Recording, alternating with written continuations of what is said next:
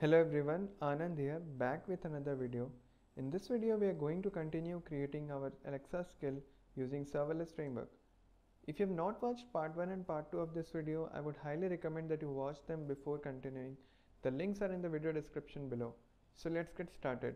In the previous video, we set up serverless framework in our local and deployed our first serverless function to AWS Lambda.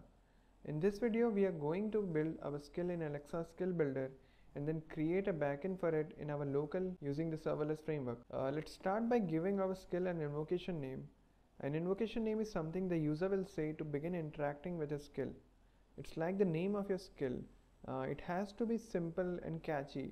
I'll simply use crypto market and you can choose this to be whatever you want. Next we come to intents. I will quickly add an intent. I'll name it get price intent. So an intent is an action that needs to be performed based on what the user says and you can create as many intents as you want. Uh, next is sample utterances. An utterance is a sentence which the user will say to trigger this intent. So uh, let's just add a few intents. What's the latest price of? And again, I don't want to hardcode the names of all the 1400 or so cryptocurrencies. That's why I'll use a slot named coin name. It will hold anything the user will speak here. It may be Bitcoin, Ripple, Ethereum, anything. Uh, we'll get back to slots, but before let's add a few more uh, utterances. Now I need to define the slot I have used. It needs a data type just like variables have in programming languages like C++ and Java. There are a lot of them but in our case let's just stick to amazon.search query. For now this is all taken care of.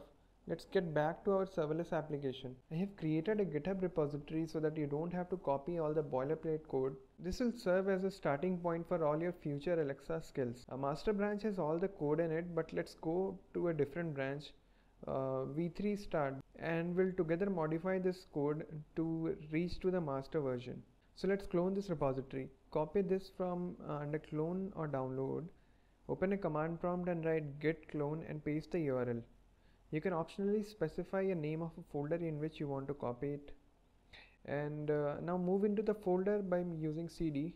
By listing all the files, I see that I'm on the master branch. And by the way, I'm using git bash, so that's why it's showing here. Uh, but in this video, we are going to use v3 start branch. So let's check out that branch. I can simply say uh, git checkout v3 hyphen start so let's pull this up in our favorite editor. I still use Sublime Text like a caveman. Uh, now open pack package.json. You will see we have some dependencies. Now open package.json. You will see we have some dependencies listed here. So I would quickly do npm install and this will install all the packages listed here. Opening the main.js file you will notice that there are a lot of things here. There's this Alexa library we are including and then there are a lot of logs. Uh, you can set your skill ID here but uh, uh, it's not required. Uh, here we are registering the handlers for different intents. Finally we are here executing the skill. Now let's go through the handlers. In default handler.js we are handling the intents which are required by Amazon. I like to keep them in a separate file because they almost never require any modification. You can see the three intents which have the same name as the ones given on skill builder. Now let's go through the main handler.js you can pretty much say that this is the brains of the application. Uh, here I have defined the get price intent which is the same as defined here. Uh, here's how you receive a parameter from user. It is there in the event object which we saw in the previous video. Let's quickly go through the YAML files and see what has changed here. You can see only two things have changed. First is the file name and the other is the name of the function. Previously if you remember the file name was handler.js and the function name was hello. Now the function name is handler and the file name is main.js. Now let's quickly deploy this and test from the skill builder. I will type serverless deploy and uh, uh, there's one more thing to do before we can test our application. So we need to link Lambda and Alexa skill by providing each other's ID. So they basically have to know each other before they can transfer any data between them. So let's open our Lambda console and now the one already present here is created by serverless and doesn't support authenticated request. So let's delete this and create a new one. click Alexa skill in the left here and it says configuration required. Come down and uh, you see there's a place to enter the skill ID. We can get the skill ID from here by clicking endpoint in the left sidebar. So copy the skill ID from here and paste it in the text box here. Also copy the ARN from top right here and paste it in the Alexa skill builder page. Now let's save and build this model. Okay, so now we are ready to test this model. I will enable this toggle and uh, let's try this. Launch crypto market. You can ask me things like, what is the latest price for Bitcoin or current price of Ethereum? What can I help you with? So that worked pretty well. You can see the response object, it contains output text and card which contains the response and this is coming from here. Also see that we are not ending the session here so I can simply ask how is Bitcoin doing without invoking the skill. You have asked for the prices of Bitcoin. It's usually a good idea to keep the session open. So since our output is configured this way that we return the parameter passed, so now we know that the inputs are coming through. Now let's quickly use the CoinMarketCap's API to get the price for our favorite coins. First we are going to need a popular HTTP request library called request promise. This is an extension of the library called request and it allows us to use promises for our HTTP calls and you don't have to worry about it. We have already installed it during our npm install. I will pull up the documentation for this. We are going to need this. Let's organize our code a little bit. I will pull I will put this URL in a variable and use it everywhere else. Or better I should move this into a configuration file I already have. Now let's now let's copy some more code as I'm lazy. And let's do some quick formatting never be lazy to format your code let's name this body and simply log the response in console and it will be visible in CloudWatch. Let's catch any error that may happen and log that as well. Now prepare the responses for Alexa skill. I will copy this and move it here and reformat everything.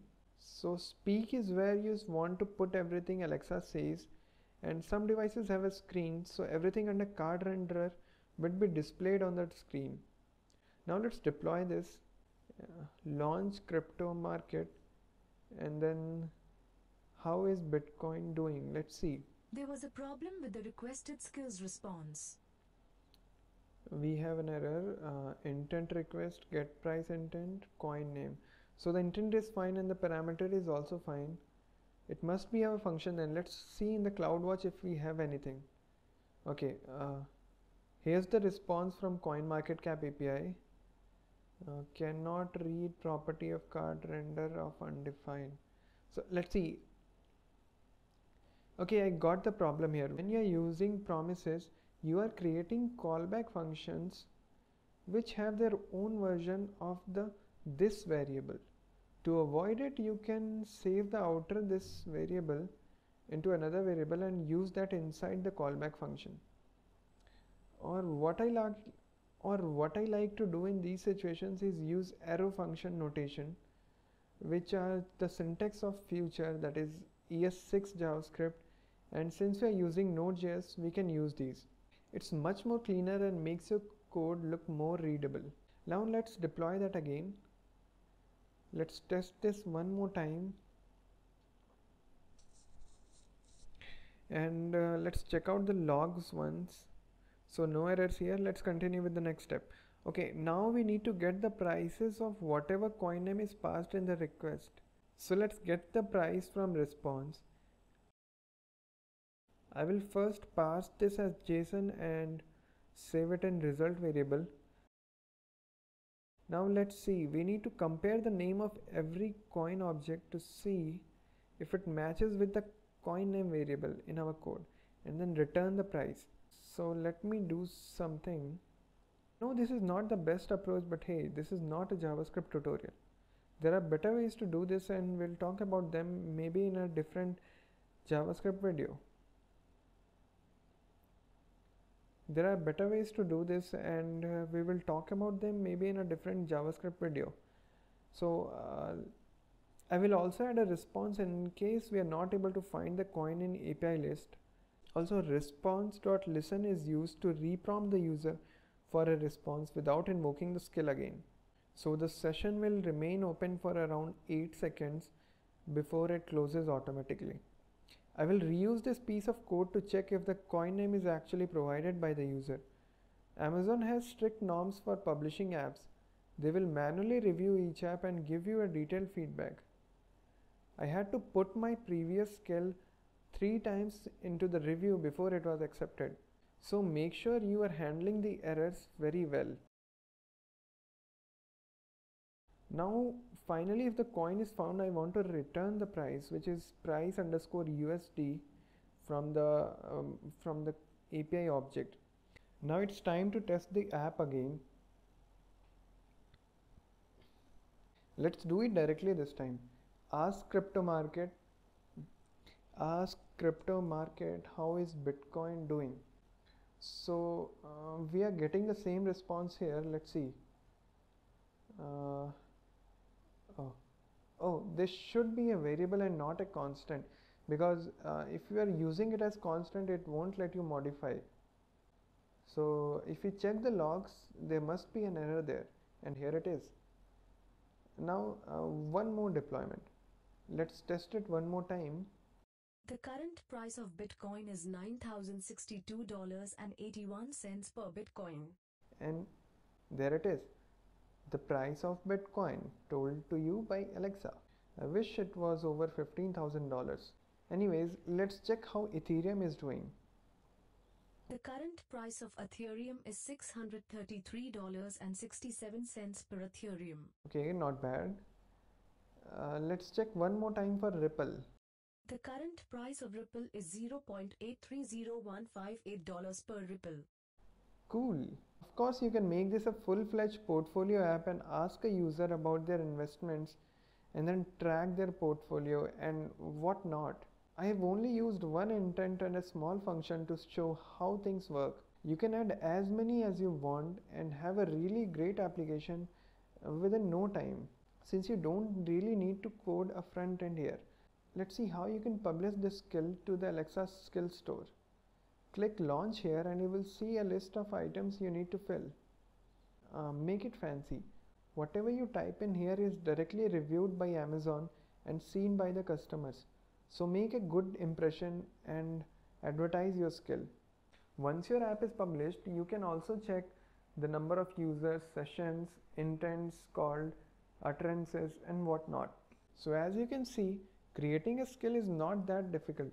It's just a lot of configuration and once you get done with the initial configuration, you can really pick up the speed and create a skill in basically no time. I hope this tutorial series was useful. All the code you see in this video is linked in the description below and feel free to fork and create merge requests if you see any room for improvements. Thank you all for watching and I hope this was helpful to you. If you like this video, please smash that like button and don't forget to subscribe. What skills are you planning to make after watching this series? Let me know in the comments below. Thanks for watching and see you guys in the next video. Happy coding!